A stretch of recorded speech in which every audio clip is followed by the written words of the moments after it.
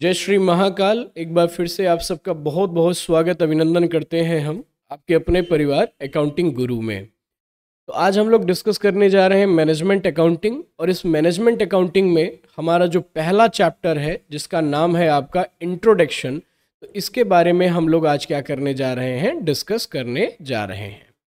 तो देखिए, जब आप इंट्रोडक्शन की बात करते हैं, यानी मैनेजमेंट के परिचय की बात करते हैं तो सबसे पहले आपको ये जानना होगा कि इस मैनेजमेंट अकाउंटिंग में हमको पढ़ना क्या क्या है।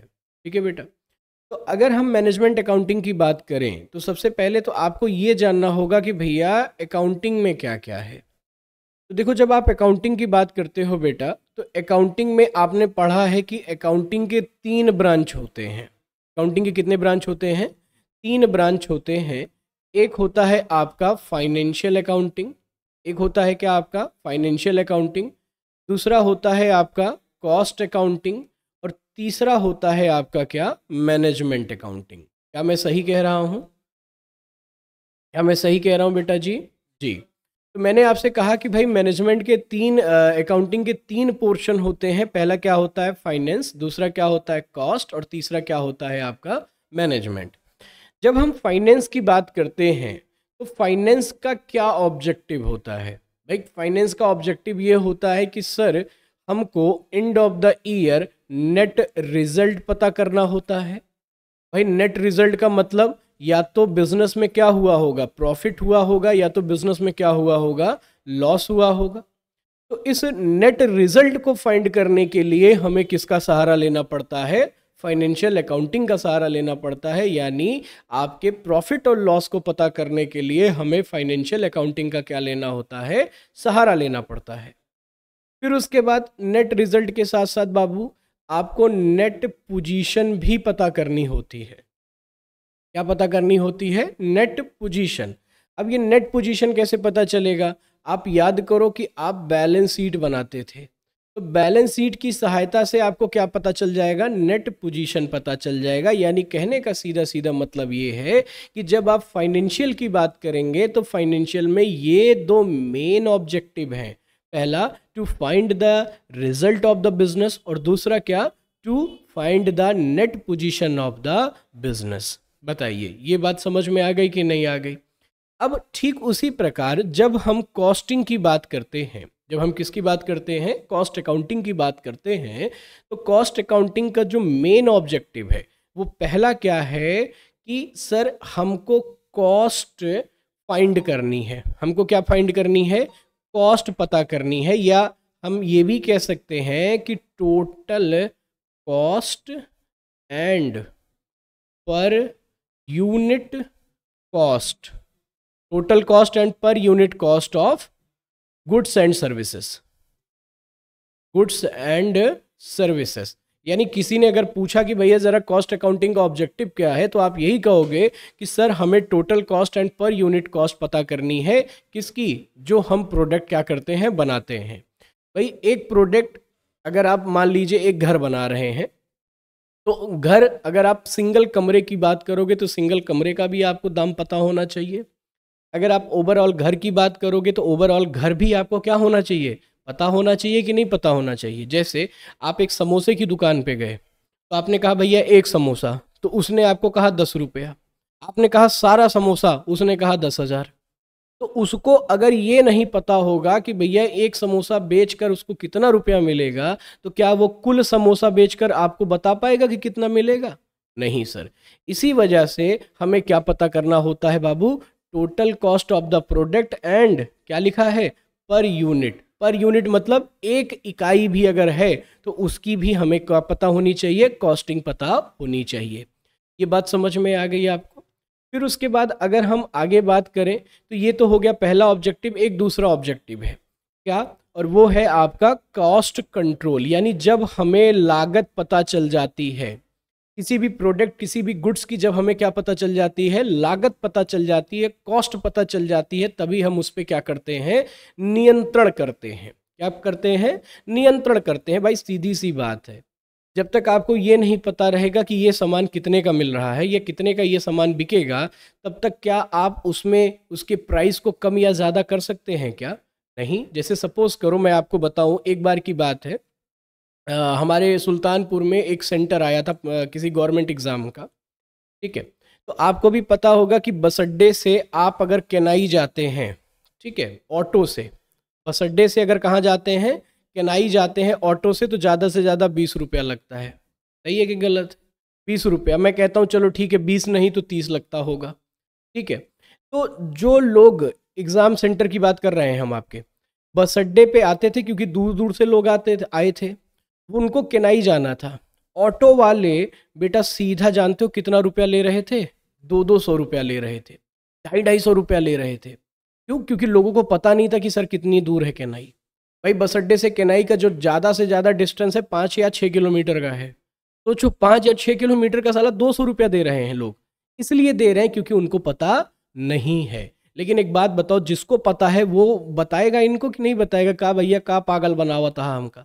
यानी जब तक आप टोटल कॉस्ट नहीं पता कर पाएँगे, तब तक आप उस कॉस्ट पे कंट्रोल भी नहीं कर पाएँगे। और इसके लिए आपको किसका सहारा लेना पड़ेगा? कॉस्ट अकाउंटिंग का सहारा लेना पड़ेगा। बात समझ में आ गई कि नहीं आ गई? अब एक चीज़ और जान लीजिएगा। जो आपका फाइनेंशियल अकाउंटिंग है या जो आपका कॉस्ट अकाउंटिंग है, ये क्या करता है? ये आपका इंटरनल अकाउंटिंग माफ़ करिएगा, ये आपका क्या होता है? एक्सटर्नल अकाउंटिंग होते हैं। ये आपके क्या होते हैं बेटा जी? एक्सटर्नल अकाउंटिंग होते हैं। एक्सटर्नल अकाउंटिंग का मतलब ये इनको आप आउटसाइडर अकाउंटिंग भी कह सकते हो। क्या कह सकते हैं हम इसे?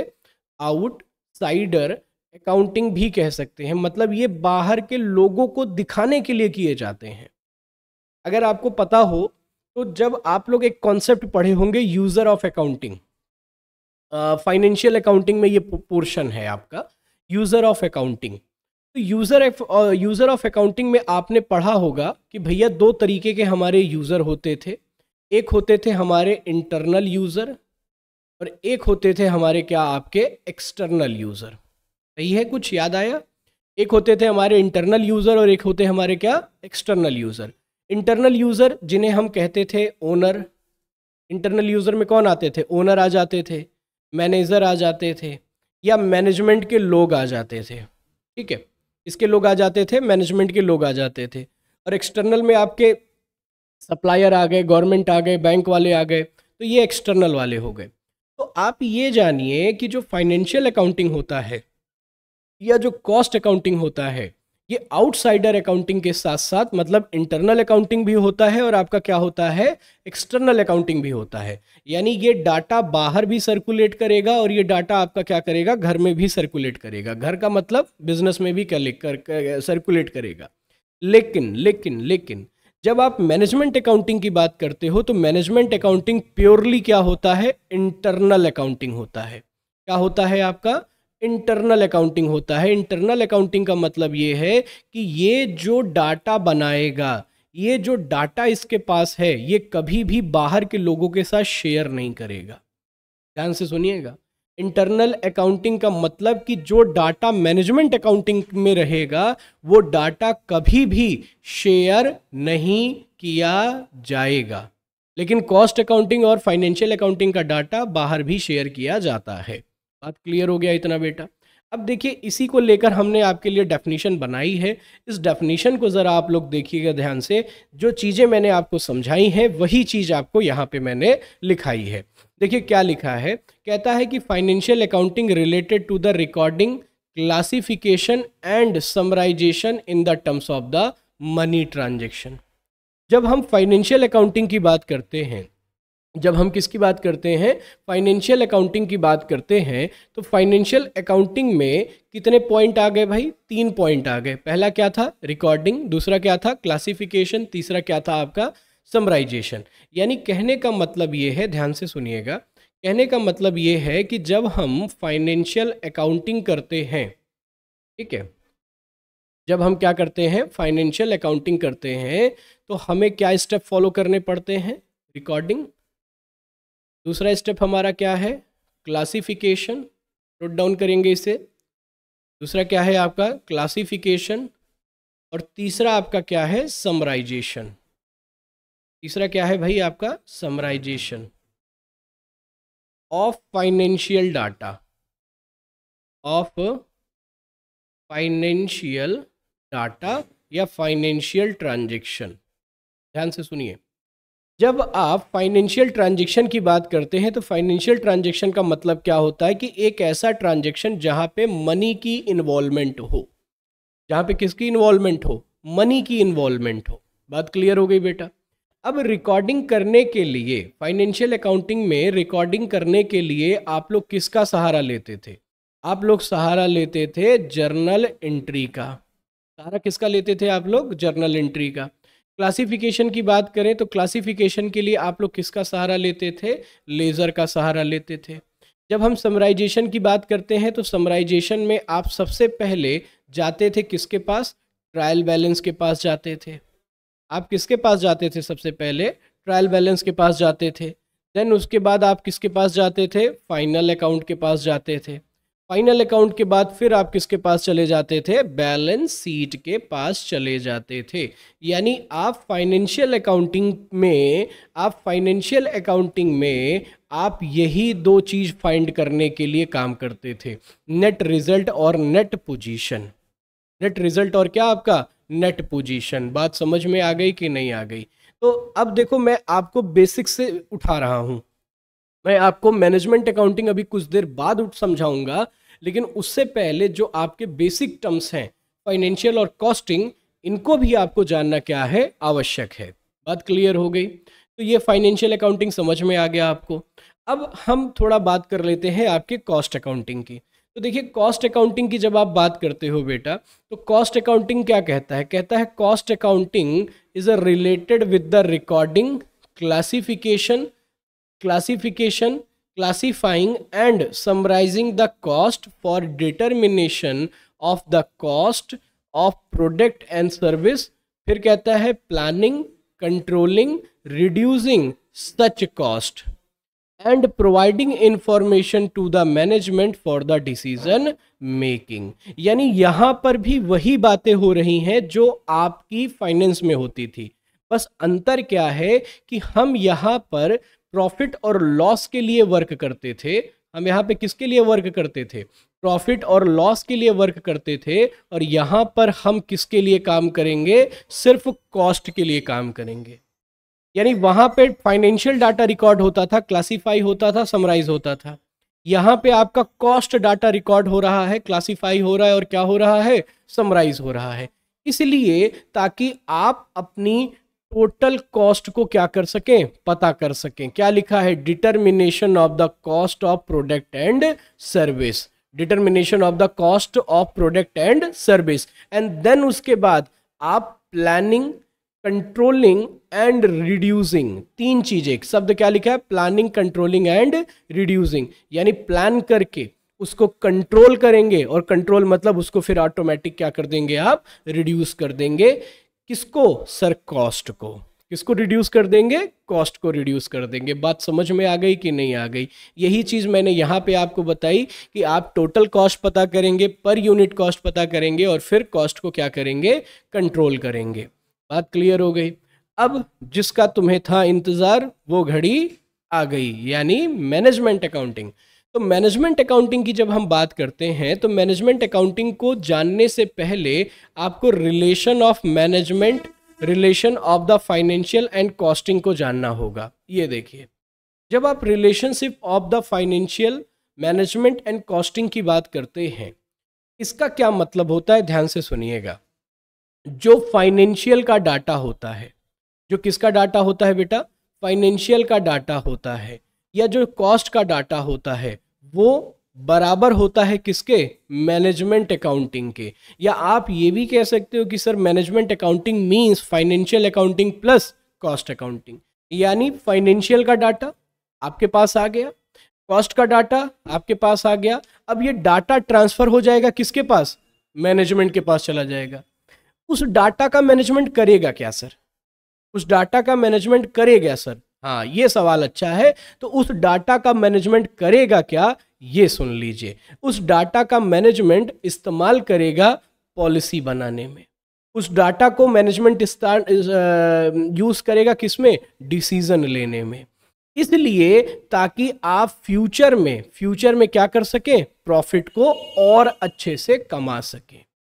और अच्छे से प्रॉफिट को क्या कर सकें? कमा सकें। एक चीज़ जानिए बेटा जब भी भी कोई भी चीज़ की जाती है, जब भी भी कोई चीज़ क्या होती है, की जाती है तो उसको करने से पहले क्या हमें फीचर क्या हमें प्लानिंग करनी चाहिए कि नहीं करनी चाहिए? भाई, कोई भी काम करने से पहले क्या हमें प्लानिंग करनी चाहिए कि नहीं करनी चाहिए? ऑब्वियसली करनी चाहिए, क्योंकि बिना प्लानिंग के आप काम करेंगे तो 99 परसेंट चांस है कि आप फेल हो जाएँ। जैसे, आपको मैंने बाइक दे दी। बाइक में फुल टंकी फुल करा दी। और मैंने कहा, जहाँ मन कहे जाओ, जहाँ मन कहे क्या करो, जाओ। अब आधा घंटा, एक घंटा, दो घंटा गाड़ी चलाने के बाद भी आप उभी आ जाएँगे। कहेंगे, यार, जाएँ तो जाएँ कहाँ? जाए तो जाए कहाँ? लेकिन मैंने कहा, बेटा, आपको यहाँ से दिल्ली जाना है और बाइक से ही जाना है। यानी आपको मैंने एक लक्ष्य बता दिया कि नहीं बता दिया? बता दिया? अब देखो दो घंटा चलाने के बाद आप भले बोर होंगे, लेकिन आपके दिमाग में एक चीज़ रहेगी कि साला दिल्ली जाना है अभी। चलो, दस मिनट आराम करें।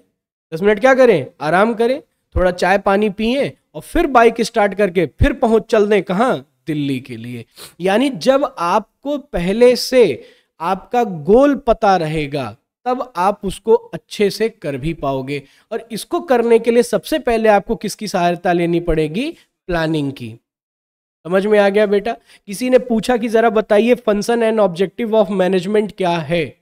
Function and objective of management क्या है? तो सबसे पहला फ़ंक्शन ये है कि, सर, ये जो मैनेजमेंट होता है, ये बड़ा शाणा होता है। शाणा मतलब क्या होता है? चतुर। शाणा मतलब क्या? चतुर। अच्छा एक बात बताओ यार। आपको क्या लगता है कि जो रिलायंस वाला बिज़नेस है, वो कौन चलाता है? आप बताओ मुझे। रिलायंस वाले बिज़नेस को कौन चलाता है? मुकेश अंबानी आकाश अंबानी या उनकी फैमिली? अंबानी फैमिली। अगर आप ये आंसर दे रहे हैं ना बेटा तो आप ये जान लीजिए कि 50 परसेंट, पचास क्या आप मान के चलिए 60 से 70 परसेंट आप गलत आंसर दे रहे हैं। कारण क्या है कि अंबानी फैमिली, एक बात बताओ बड़े बड़े एम को बड़े बड़े चार्टर्ड अकाउंटेंट को बड़े बड़े बिज़नेस असिस्टेंट को जो रिलायंस फैमिली है, वो दो दो करोड़, पाँच पाँच करोड़ में हायर कर रही है। करती है कि नहीं करती है? किस लिए करती है? ताकि कंपनी को, अब बताओ, चला कौन रहा है? अंबानी फैमिली या वो जो मैनेजमेंट में बैठे लोग हैं? जो मैनेजमेंट में क्या है? बैठे लोग हैं। क्योंकि उनको अच्छे से पता है कि आने वाले समय क्या है। उनको अच्छे से पता है कि आने वाले समय में क्या रिक्वायरमेंट क्या ज़रूरत हो सकती है। अगर आपको याद हो, कल आपके प्राइम मिनिस्टर ने राज्यसभा में बड़ी अच्छी बात कही, अगर आप सुनेंगे तो। यहाँ पे यूट्यूब पे मिल जाएगा। उन्होंने कहा है कि जब हम तीसरी बार आएँगे सरकार में तो हम भारत को तीसरी बड़ी अर्थव्यवस्था बनाएँगे। लोगों को घर घर पे वो पाइप वाला जो नल है पानी, वो वाला सप्लाई करवाएँगे। सभी लोगों को मुफ़्त में इलाज करवाएँगे। मुफ़्त मतलब सस्ता इलाज करवाएँगे। नब्बे परसेंट से अस्सी परसेंट दवाइयाँ सस्ती में मिलेगी। यानी उन्होंने अभी देखो, इलेक्शन हुआ नहीं है। रिज़ल्ट आया नहीं है। लेकिन पहले से क्या कर रखी है? प्लानिंग। पहले से क्या कर रखी है? प्लानिंग। और जब आप प्लानिंग करोगे, तभी आप काम करोगे। जब आप प्लानिंग करोगे, तभी आप क्या करोगे? काम करोगे, यानी जब आप गोल डिटरमाइन करोगे, तभी आप उसके अकॉर्डिंग क्या करोगे बेटा? काम करोगे। और फिर अगला पॉइंट है आपका कोऑर्डिनेटिंग सर, ये कोऑर्डिनेटिंग क्या है? देखिए कोऑर्डिनेटिंग का मतलब क्या होता है कि जैसे मान लीजिए आपके सामने पाँच रिसोर्सेस हैं। जो बेटा ध्यान से सुनिएगा, ये रिसोर्सेस शब्द मैं बार बार इस्तेमाल करूँगा। रिसोर्सेस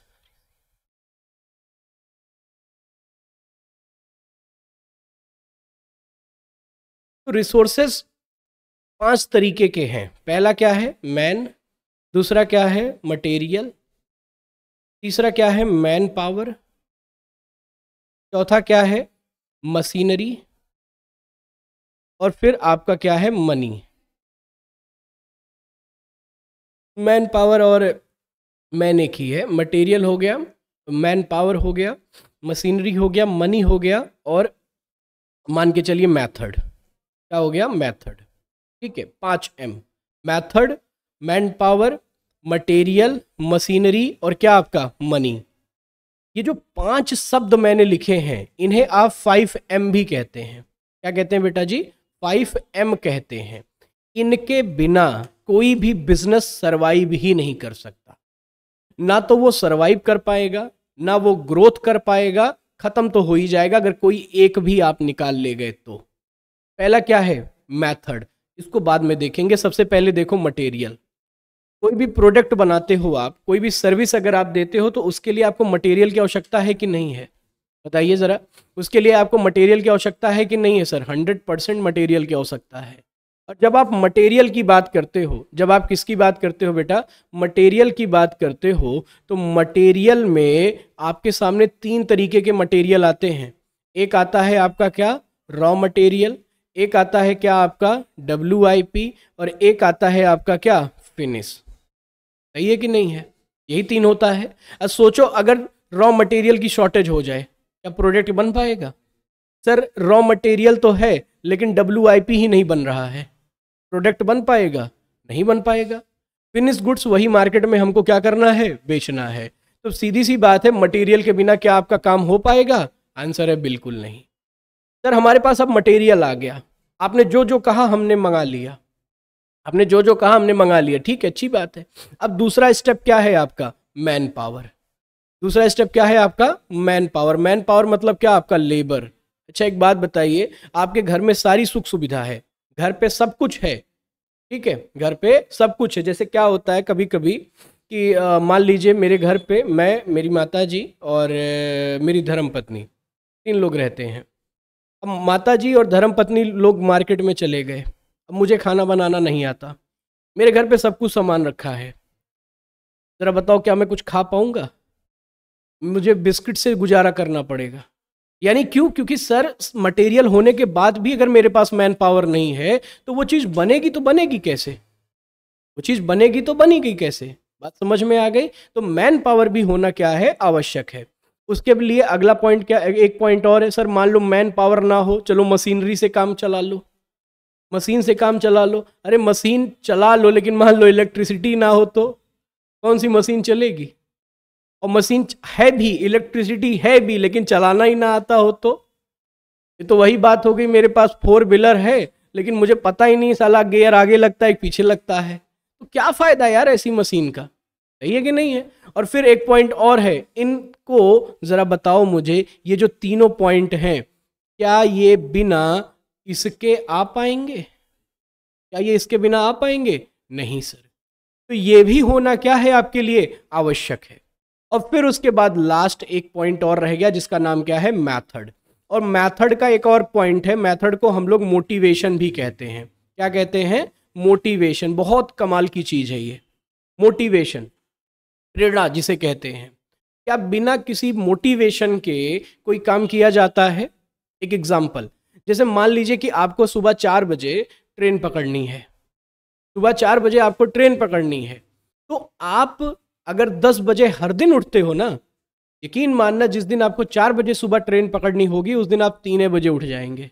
या ये भी चांस है कि आपको निधिये ना आए रात भर? क्यों? क्योंकि अंदर एक मोटिवेशन यानी आग जल रही है सर आग क्या हो रही है? जल रही है, सर। बात समझ में आ गई आपको? तो इन तीनों के लिए आपको इन तीनों के लिए आपको, चारों के लिए आपको सबसे ज़्यादा किसकी आवश्यकता है? मनी की। और इसी के बीच में जो प्रॉपर आप तालमेल बैठा दें, man, money, material, motivation, machinery, अगर इन सब में अगर आप प्रॉपर क्या बता, बैठा रहे हैं? तालमेल। तो उसी तालमेल का नाम क्या है आपका? कोऑर्डिनेटिंग। मतलब एक दूसरे का साथ। सब, जैसे सरकार क्या कहती है? सबका साथ, सबका विकास। तो ये कोऑर्डिनेशन से उठाया गया है। ये शब्द कहाँ से उठाया गया है? कोऑर्डिनेशन से। एक एक चीज़ जानिए बेटा, जो मैनेजमेंट होता है ना, वो हर जगह काम करता है। आप अगर बाल भी झाड़ रहे हो ना, कपड़ा भी पहन रहे हो तो उसमें भी मैनेजमेंट है। अब आप कहोगे, सर, क्या बात कर रहे हो? बाल झाड़ने में कैसे मैनेजमेंट कपड़ा पहनने में कैसे मैनेजमेंट बताएँ। जैसे, आप हर दिन एक ही साइड में बाल झाड़ते हो ना? एक ही साइड में बाल झाड़ते हो? एक काम करो, हर घंटे अपने बाल की डिज़ाइन बदलो। कभी इधर झाड़ो, कभी इधर झाड़ो, कभी इधर झाड़ो। एक दो महीना इस्तेमाल करो, अगले महीना पता ही नहीं रहेगा बाल है कि नहीं है। और कपड़ा, पैंट नीचे पहनते हो ना, एक काम करो, आज से ऊपर पहनना शुरू करो। जो शर्ट आप ऊपर पहनते हो, उसको नीचे पहनना शुरू करो। बताओ, क्या अच्छे लगोगे? नहीं, इसका मतलब कि मैनेजमेंट है कि नहीं है? मैनेजमेंट का मतलब to manage each and everything management means to manage each and everything for on benefit अपने लाभ के लिए हम उसको मैनेज करते हैं, वही हमारा क्या कहलाता है? मैनेजमेंट कहलाता है। बात क्लियर हो गई बेटा? और फिर उसके बाद इनकी हमें क्या करनी है? जब हम इनके बीच में तालमेल बैठा देंगे तो क्या एक बार तालमेल बैठाएँगे कि हर बार तालमेल बैठाएँगे? हर बार बैठाएँगे तो हर बार तालमेल बैठाने के लिए हमें इनके ऊपर कंट्रोल होना चाहिए कि नहीं होना चाहिए? बताइए ज़रा, हमें इनके ऊपर कंट्रोल होना चाहिए कि नहीं होना चाहिए? क्या बिना कंट्रोल के काम बनेगा? आंसर है नहीं सर तो ये तीन पॉइंट समझ में आ गए आपको प्लानिंग कोऑर्डिनेशन कंट्रोलिंग और फिर लास्ट एक और पॉइंट है, जिसका नाम क्या है आपका? कम्युनिकेशन अरे भैया कम्युनिकेशन आपको मैंने बताया कि जो मैनेजमेंट अकाउंटिंग है, वो इंटरनल अकाउंटिंग है। जो मैनेजमेंट अकाउंटिंग है, वो क्या है आपकी?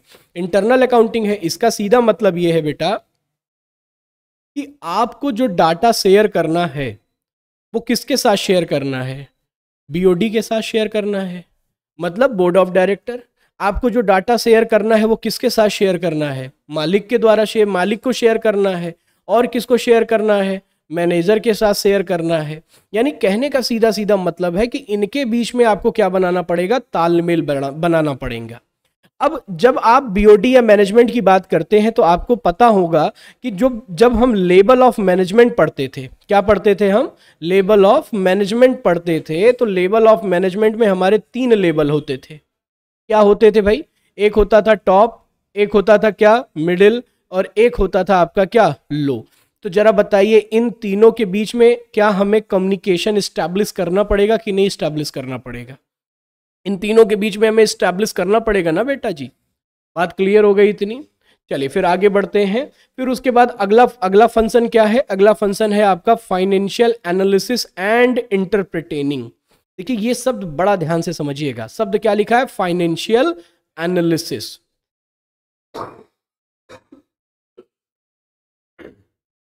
फाइनेंशियल एनालिसिस देखो एक चीज़ जानो बेटा, हम जो भी काम करने जाते हैं या जो भी काम भविष्य में करेंगे, उसके लिए क्या आपको अपना पॉकेट चेक करना पड़ेगा कि नहीं चेक करना पड़ेगा? फाइनेंशियल एनालिसिस का मतलब होता है चेक योर पॉकेट ये मैं अपनी शब्द में बोल रहा हूँ। वैसे आपकी किताबों में तो बड़ी खतरनाक डेफिनेशन दी गई है, लेकिन मैं सिर्फ़ एक शब्द कहता हूँ कि भैया चेक योर पॉकेट अब चेक योर पॉकेट का मतलब या तो आप अपना कैश बैलेंस चेक करो या बैंक बैलेंस चेक करो या मार्केट सिक्योरिटी चेक करो या जो भी आपके सोर्स ऑफ़ फंड है, उनको आप चेक करो। क्योंकि अगर आपने इसको चेक नहीं किया, जैसे सपोज़ करो कि आपकी जेब में दस रुपया है और आप पहुँच गए ऑडी खरीदने, जरा बताओ मज़ा आएगा कि नहीं आएगा? बहुत मज़ा आएगा। सिर्फ़ वहाँ पे आप टाइम पास करोगे। वहाँ पे सिर्फ़ क्या करोगे आप? टाइम पास करोगे। लेकिन सोचो अगर आपकी जेब में दस बीस करोड़ रुपए रखा हो, आप ऑडी क्या? मर्सिडीज जाओ खरीद लो आप लंबरगनी जाके खरीद लो। क्यों? क्योंकि आपके पास फाइनेंशियल एबिलिटी है। आप फिर वहाँ पे जाके मज़ाक नहीं करोगे। सही कि सही है कि गलत है? जैसे क्या होता है मैं आपको बताऊँ जैसे कॉलेज लाइफ में आप लोगों ने कभी आ, फ्री में जाके शादी ब्याह में खाना खाया है कि नहीं खाया है? खाया है ना? खाया है कि नहीं खाया है? खाया ही होगा मैंने भी बहुत खाया है। तो वहाँ पर हमारी जेब में नहीं होता था, इसीलिए तो हम जाके खाते थे। है? और सोचो, अगर आपकी जेब में पैसा हो तो क्या आप जाओगे? फिर आप नहीं जाओगे। फिर तो कहोगे भाई छोड़ो यार, होटल पे चलेंगे। होटल पे चलेंगे। यानी आप वहाँ पे अपनी फाइनेंशियल एबिलिटी चेक करते हो, फिर आप जाके पड़ोसी के घर पे जाके खाना खाते हो। ठीक है, आगे बढ़ेंगे। इंटरप्रिटेनिंग का मतलब होता है, बेटा रिज़ल्ट पता करना। यानी जब हम अपनी जेब चेक कर लेते हैं, तभी तो हमको पता चल जाता है ना कि हमारे पास है या नहीं है। हम ये काम कर लेंगे कि नहीं कर लेंगे? जैसे मैंने आपसे कहा कि भैया, इसके बिना मनी का मतलब ही होता है फाइनेंशियल एबिलिटी को चेक करना। मनी का मतलब क्या होता है आपका? फाइनेंशियल एबिलिटी को चेक करना।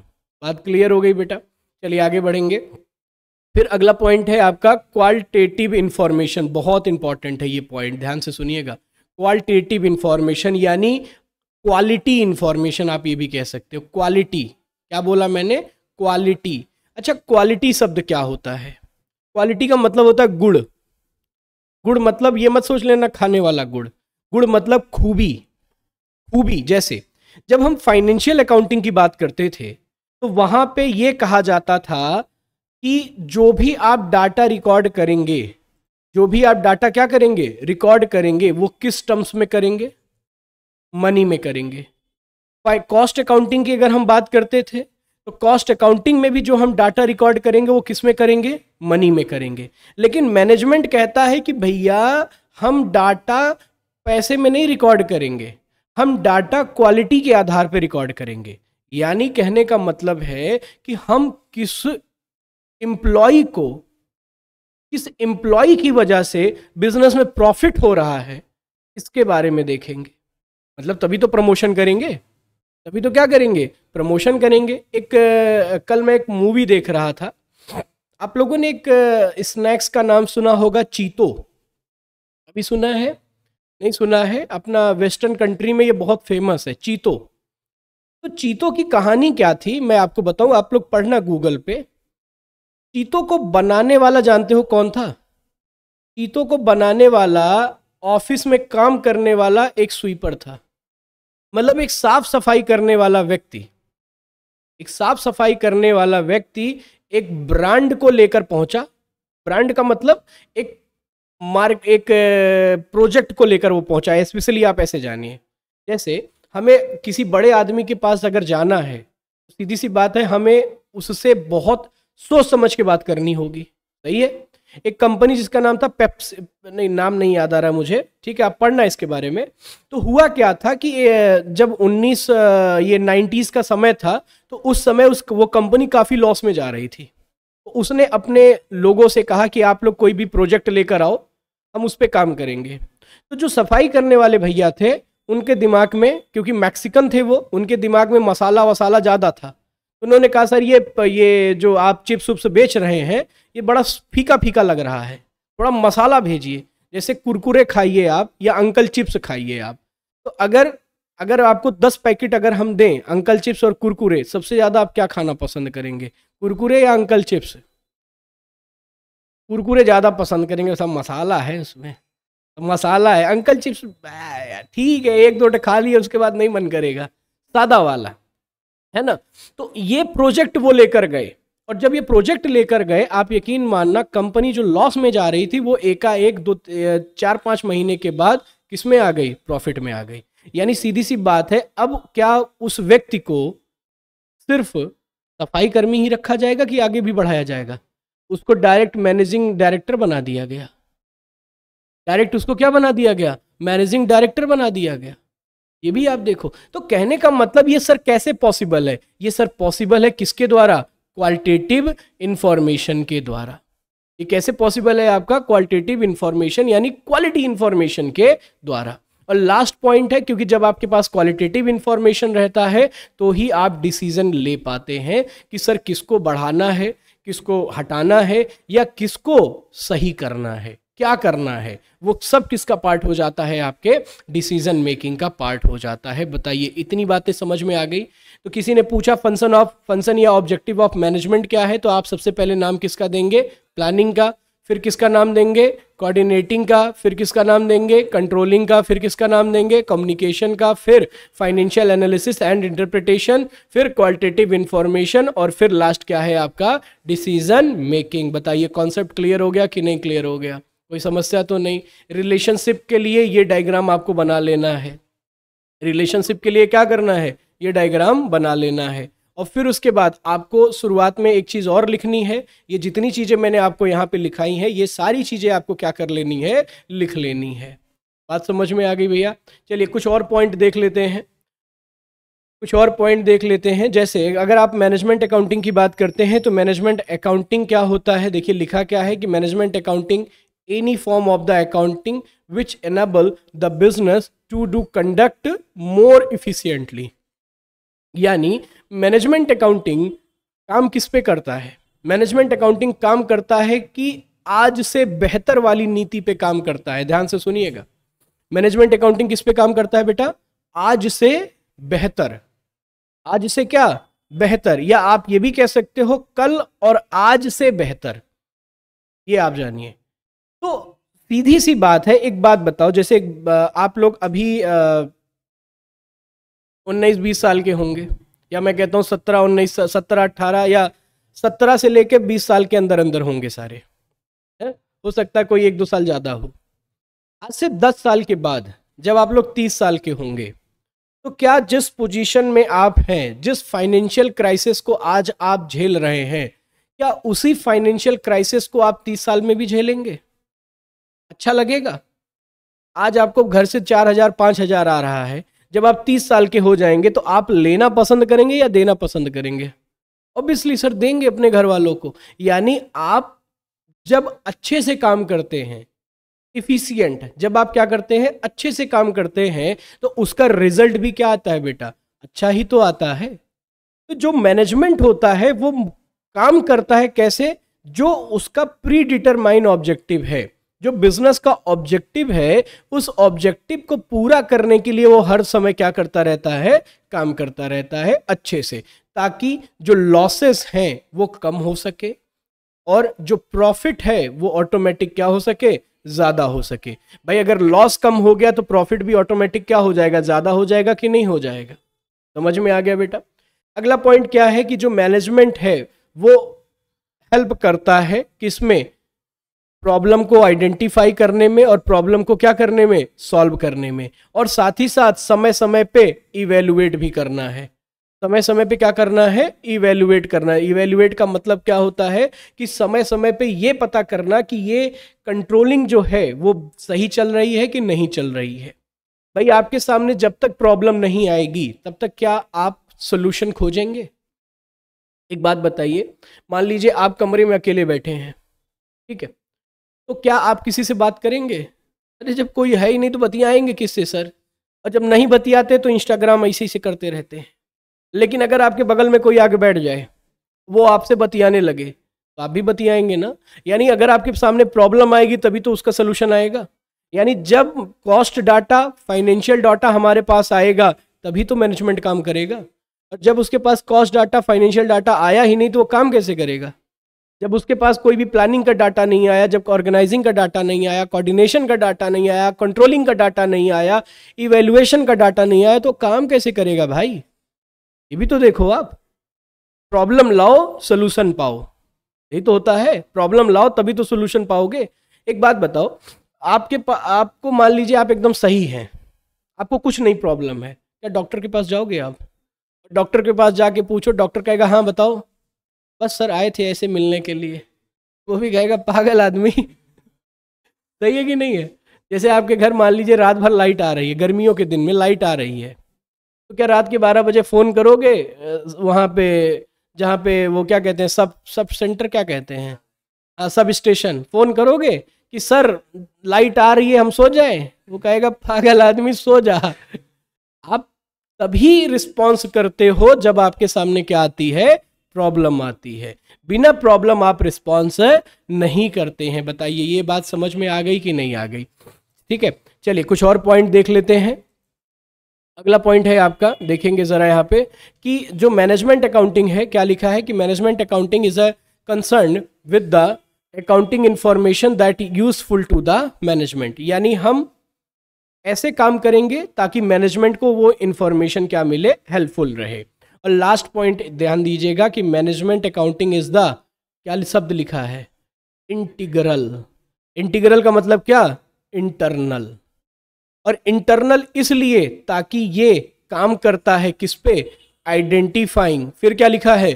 प्रेजेंटिंग फिर क्या लिखा है? इंटरप्रिटेनिंग इंफॉर्मेशन और यूज़ किया जाता है किसमें फॉर्मुलेट शब्द क्या लिखा है? स्ट्रैटेजी ये स्ट्रैटेजी क्या होती है सर स्ट्रैटेजी का मतलब होता है रणनीति। किसी भी युद्ध को जीतने के लिए, पहले राजा महाराजा क्या बनाते थे? युद्ध नीति बनाते थे, चक्रव्यूह बनाते थे। तो चक्रव्यूह, वो तो संस्कृत वर्ड है। इंग्लिश वर्ड क्या है? स्ट्रैटेजी। इंग्लिश वर्ड क्या है? स्ट्रैटेजी। अब भैया, अगर आपने महाभारत सुनी या पढ़ी होगी तो आपने भी देखा होगा कि अभिमन्यु को मारने के लिए चक्रव्यूह बनाया गया था। अभिमन्यु को यह पता था कि सर जाना कैसे है। ये नहीं पता था कि आना कैसे है। सोचो अगर उसको जाना आना दोनों पता होता तो, तो हमको लगता उसी दिन महाभारत खत्म हो जाती। सही है ना? यानी स्ट्रैटेजी उसको सिर्फ़ जाने की थी आने की नहीं थी उसकी। उसने कहा भी था सर मालिक कृष्ण से उसने कहा भी था कि मालिक मैं चला जाऊँगा लेकिन आऊँगा कैसे ये नहीं पता। और कृष्ण को भी पता था। ठीक है? फिर उसके बाद स्ट्रेटजी जब बन जाएगी तो फिर क्या किया जाएगा? प्लानिंग एंड कंट्रोलिंग एक्टिविटी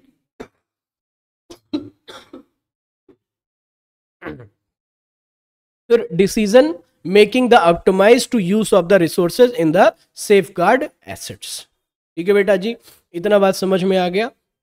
चलो फिर। आज के लिए हम लोग यहीं पे अपनी क्लास को क्या करते हैं? बाइंड अप करते हैं। नेक्स्ट क्लास में हम क्या क्या पढ़ेंगे ये देख लेते हैं। नेक्स्ट क्लास में हम बात करेंगे फीचर ऑफ़ मैनेजमेंट अकाउंटिंग की। फीचर ऑफ़ मैनेजमेंट अकाउंटिंग के साथ साथ हम बात करेंगे कुछ और ब्रांचेस ये तो ऑलरेडी हमारा हो चुका है। ब्रांच ऑफ़ अकाउंटिंग हमने बता दिया आपको ना स्टार्टिंग में। कॉस्ट अकाउंटिंग मैनेजमेंट अकाउंटिंग ये आप लोग क्या कर लेंगे? नोट डाउन कर लेंगे। फिर उसके बाद और क्या बात करेंगे? और फिर बात करेंगे आपका difference between the management accounting and financial accounting फिर difference between the cost accounting and management accounting इन सब के डिफरेंस को हम लोग क्या करेंगे? वन बाय वन देखेंगे। लेकिन आज नहीं देखेंगे नेक्स्ट क्लास में देखेंगे। तो आज की क्लास कैसी लगी? इसके बारे में आप लोग ज़रूर अपना कमेंट दीजिए, ज़रूर फीडबैक दीजिए। अगर आप हमारी क्लास को ज्वाइन करना चाहते हैं तो नीचे दिए गए नंबर पे आप हमें कॉल कर सकते हैं। बाकी आप सभी अपना बहुत बहुत ख्याल रखिए। मुझे इजाज़त दीजिए। जय महादेव।